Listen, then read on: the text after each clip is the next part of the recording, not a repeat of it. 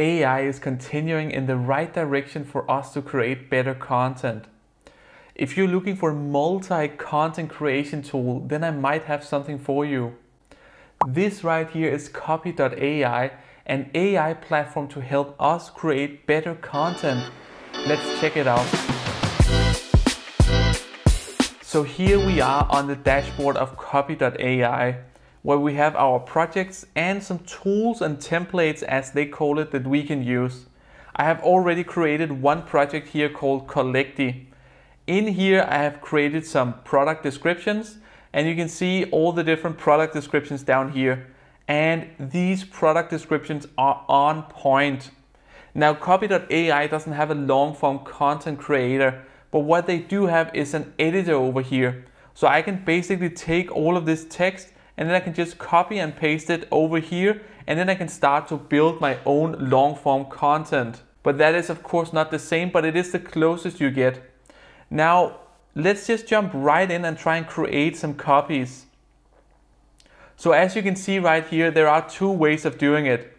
Either you can just write the text manually right here where you enter what your product is called, you describe it a little bit, and then you choose the tone of how the content created should be. Let's start out with this. So I've written some description of Collecti and then I will just press create copy. Now it is magically creating the copy and you can see how fast this was. So let's just try and dive into the different ones and see. For instance, there is a very short one here, and this was basically just what I wrote. This is fairly normal to see with all of these AI tools. We also have a different one here where it says Collecti.io is an affiliate platform that helps you manage all of your affiliate deals and maximize your profit. That was what I wrote.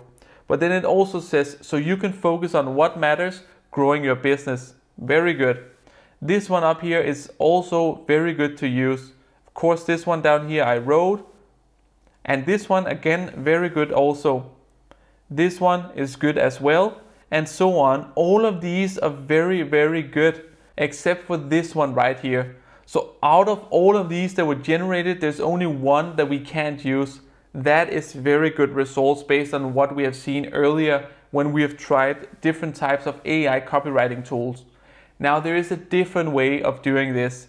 They have this feature up here called Supercharge. It is right now in beta. But what I can do if I flip it on is that I can enter my website and then I can just press fetch. What it then does is that it fetches the name of the website, the explanation. This it pulls all this data it pulls from the website, the descriptions, what is unique, here you can see the target audience. Again, all of this is correct. It is so well done. Down here we choose the brand voice of this product, what is the call to action for the website, and then we press create copy. And then you can see that we get these results down here. These results are still from the previous one. But when I run it, then I have saved all of the results up here for you to see it because the results are really outstanding the quality of the content we can generate within copy.ai has really impressed me. It is some of the best content I have seen. So going through the different content pieces here, they're working very well. I could basically take and use all of these different descriptions to describe the product. But let's try and go to templates because you can see that they have a lot of different templates. And a template is basically just a tool so you can see we have a YouTube video description, a YouTube channel description, we have event recap and so on. But what I want to try is the blog intro. So let's try this one, start a new project. So here we need to enter what is our blog title. I will say something like WordPress image optimization plugins. Then I'll just add a word in the front and then here we need to write what this blog post is about. So one thing I really like about copy.ai is that I can write up to 1000 characters. Normally these descriptions are limited to 100, 160, sometimes even 60. So it's really great that I can just fly out there and write everything that I want about my blog post in order to get the best result. Again, up here we have the supercharge, but this is not available for this specific tool. I will choose the tone relaxed in this case and then let's create the copy and see what we will get. So it's now done and it was a little bit slower than the other time, but nothing to complain about. It was still fast. The first thing I noticed about these blog intros is that they're a little bit short. Now we do have a longer one down here, but this one here, or especially this one, is just, it's too short for a blog intro. It needs to be longer, needs to have some type of filling to it. But let's try and go out to the top again and then see the different results. So already at the first one, I really like it where they're talking about that there are a lot, both free and premium, and we'll go through the five best WordPress image optimization plugins to help you with your website speed. So here it is taking out the keywords from what I wrote in the description of the blog post and then it's trying to utilize it in the best possible way. The next one is also great. It is taking a different approach this one is just, it's too short. Again, this one is great. It's talking a little bit more general to begin with, where it's talking about working with WordPress images. It's really important that you optimize it correctly and so on. Really great as well. This one I could also easily use.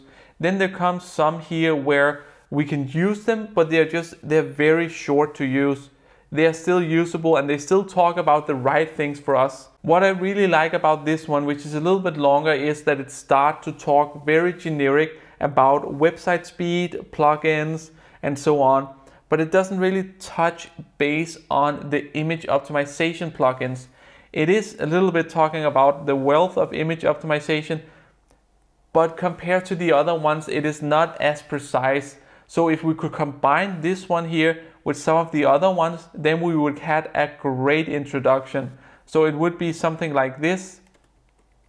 And then we have course to remove some work a little bit with it. But then we have our blog introduction. That is really great to see. Now let's go back to the templates and try a different type of tool. We have of course the social media content. We have the email, website copy. We also have some case studies, but let's go with the website copy and let's create a sales landing page. Let's start a new project. So in here, what are we looking to create? A sales landing page. Here we need to write our product, our target audience, and the features and benefits. So let's go ahead. The product is called Collecti.io and the target group is affiliators. So I've written some features and some benefits. Let's just keep the friendly tone and then create copy. So let's see what we get because this is for a sales landing page. Previously I have reviewed Writesonic, and what I really liked about Writesonic was that it showed me visually this is how your website could look like, this specific landing page, and this is how we would use the text. Here it is just giving me text. And if we have to build an entire landing page, then we need a lot more text than this. So even though the text is great, it has very good content, it makes sense, then this is just too short, especially this one right here, where it's talking about easy management and how you can manage all your deals in one place, grow your affiliate income. This is just, it's too short. This one is a little bit better, but we still have to think about that this is a landing page that needs to sell a product. That landing page is probably going to be very long, which means that we need a lot of content to really support the product and sell the product.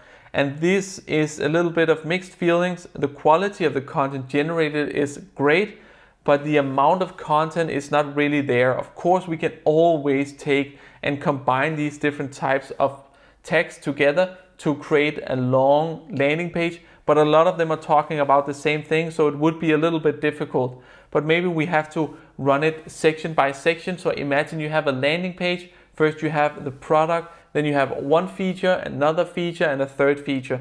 Maybe we had to change it to use it like that. But the template was just showing us that we had to fill in all the features and all the benefits to begin with. So I am expecting a longer result than this. Now the last template I want to try out is for a YouTube video description. So right now we're doing a YouTube video about copy.ai. So let's try and use that. So I've now written the video name and the video description. And you can see that it is always the same three different steps that we need to go through. What is it we want to create? What are the main points we want to cover? And then we choose the tone. We can of course also use the supercharge, but not for this specific tool or template. So let's create a copy and then let's see what we get for this video we are creating right now. So already the first description here is so, so good. I will save this one. It's talking about copy.ai, what it is, how it works, and then it's mentioning one problem that is only accessible by paying for the service. And that is not entirely correct because they have a free version as well. So a fact checker here could be an interesting thing to maybe work over this tool. In the next one here is talking about that we are reviewing copy.ai, basically just the text that I wrote. And then it's saying that we want to see how well the system could understand our needs and fulfill them. It is correct, but it's very generic to use. And then it's talking about that it takes a brief, analyzes it, and then it writes the content for you. That is completely correct. So in this case, we could use this one, but it is very generic. And then it goes on with some different ones here. In this video, we're reviewing this product, product name, to take it through some testing and validating the content created. That was what I wrote, of course. And this talking about that we've had some great success with this kind of content in the past, but it's important to test the quality and determine how well it does for us. And that is again correct. So what we have seen throughout the different tools and templates we have tested with copy.ai is that the quality of the content is very high. And that's good to see because often we see these AI content tools just spit out some type of content and often it's not remotely close to what it is we're looking for. But that is copy.ai creating content. We have all of our projects. You can save your favorite tools out here if you want to. We can also see the popular tools which is used most by other people.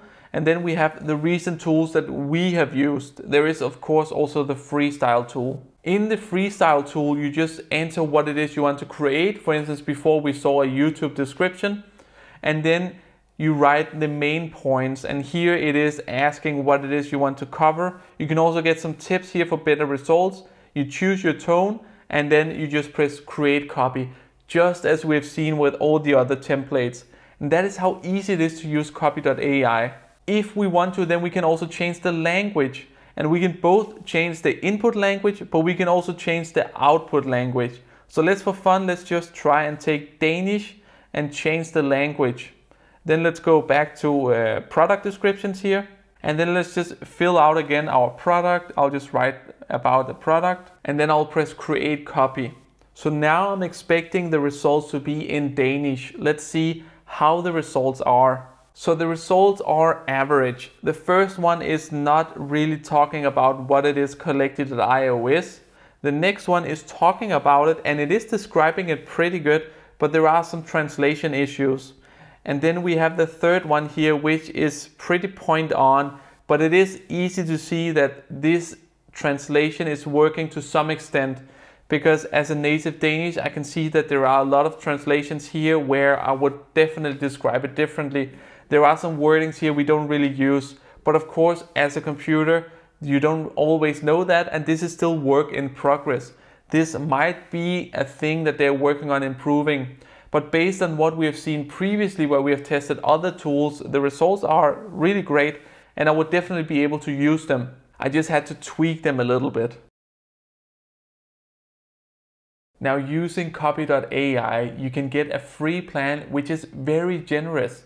You get a lot of credits and you get an extra 100 credits the first month to generate content. Then you can really test out copy.ai and you get access to all of their tools.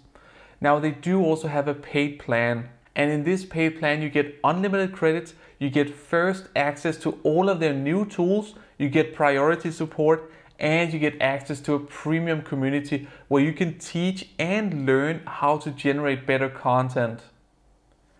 Now, the alternatives to copy.ai, there are two alternatives.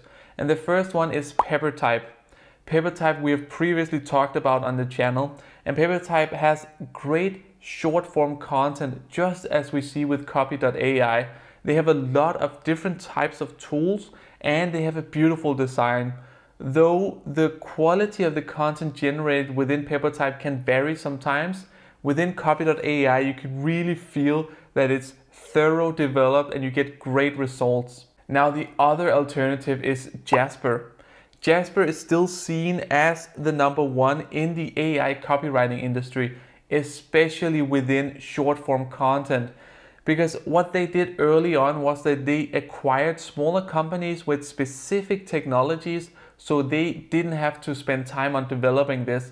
This means that they have a lot of knowledge within their umbrella of their company so they can really just deliver an outstanding product so we can generate even better content.